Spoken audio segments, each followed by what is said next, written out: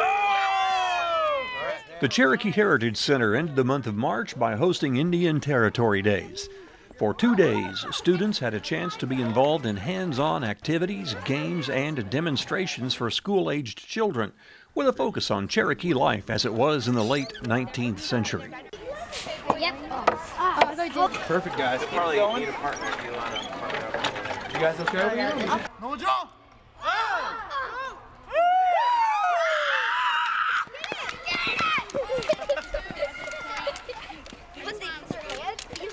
Squeeze, squeeze and turn, squeeze and turn. Beautiful.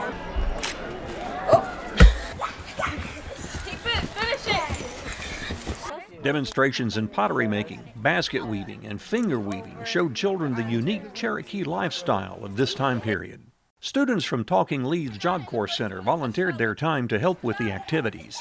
I thought it would be a cool cultural experience and to learn more about my tribe and where it originated from and to just help out a bunch of kids have a lot of fun.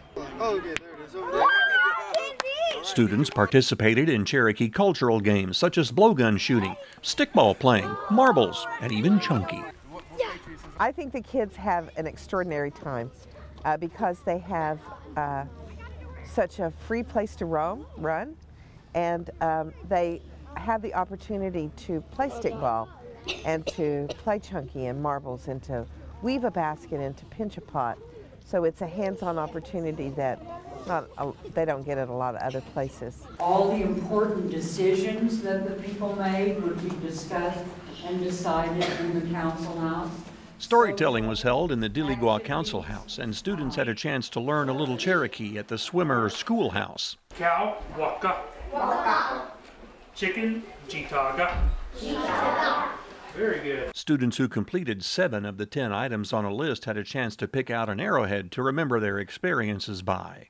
The next student activity will be Ancient Cherokee Days on October 5th and 6th. Students will step back 300 years into the past and experience life in a Cherokee village. For more information, contact Tonia Weavel at 918 456 6007 extension 6161 or by email at tanyaweevil at cherokee.org.